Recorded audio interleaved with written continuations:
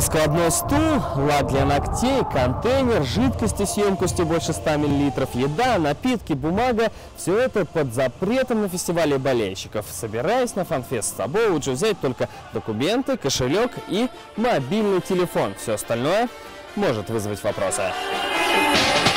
Вопросы начнут задаваться прямо на входе. За споры и неподчинение здесь вас вправе не впускать на праздник футбола. Металлодетектор, осмотр сумок – все это в порядке вещей. Безопасность превыше всего.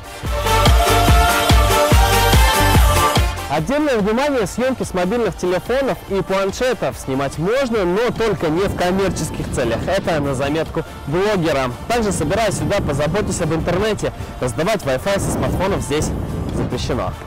Все это ради вашей же безопасности. Каждый день на фанфесте ожидается до 25 тысяч человек. Еще бы. Паспорт болельщика, билет на матч, аккредитация. Все это не нужно для входа на футбольное пиршество. Он бесплатный. Главное, хорошее настроение и любовь к футболу. Салават Мухаммадулин, Андрей Сентальцев, ТНВ. Казань.